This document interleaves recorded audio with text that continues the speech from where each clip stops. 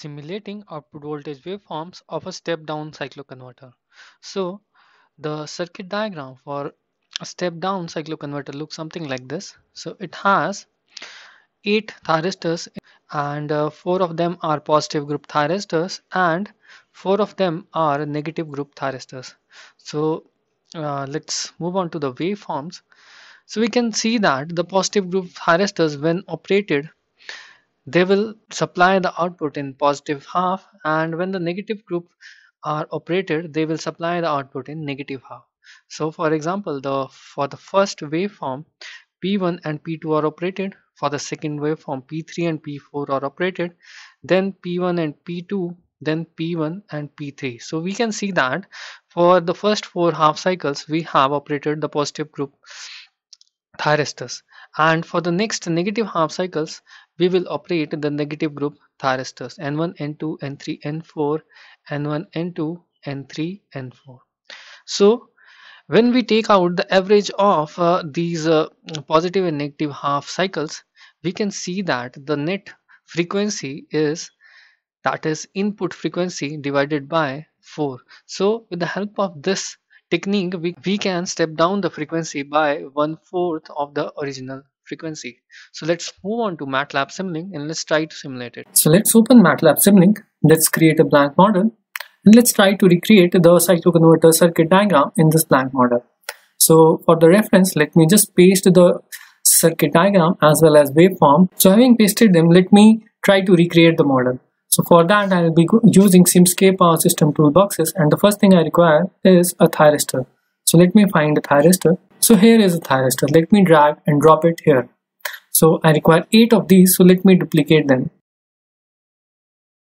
Okay so the left hand side uh, thyristors will act as the positive group and the right hand side will act as the negative group. So let me flip them so that they are facing downwards. The next thing I require is a voltage source. So let me go back to the library. Let me go back to electrical sources and let me drag and drop this AC voltage source onto my model. Let me change its uh, parameters. So let me change the frequency to 50 Hertz. Okay. So the next thing I require is an RLC branch and that is uh, that will act as my load. So like I'll go to the elements section. I'll drag and drop this series RLC branch so let me just flip it first and uh, I'll double click it and change it to, to a simple R branch. So that will give me a better waveform. So let me drag and drop it here. So accordingly according to my uh, circuit diagram let me connect all the blocks.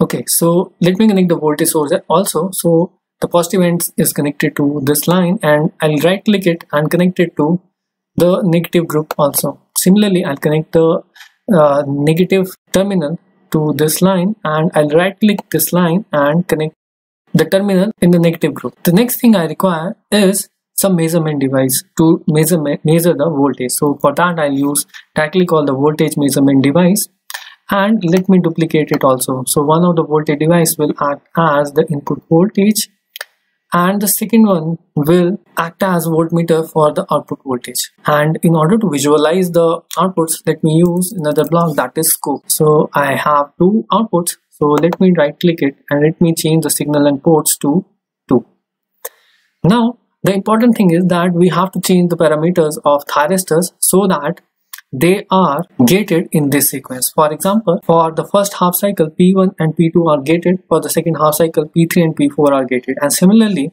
for the negative half cycle, N1, N2 and N3, N4. And there is also a delay angle that is delay of alpha angle in triggering of each thyristors. So for that, let me use one more block that is pulse generator. Okay, so I have to change its parameters in such a way so that I get a logical output waveform. So let me double click it. So amplitude is fine. And here you can see that period. So since the input voltage frequency is 50 Hertz, so one cycle, one complete cycle takes 0.02 seconds to complete. 0.02 seconds to complete. And for that, in positive half group, that is P1 and P2 are only active for 50% of the time. Therefore, the pulse width is 50%.